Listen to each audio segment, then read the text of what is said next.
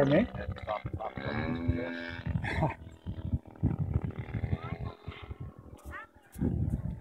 You just hit the pause button.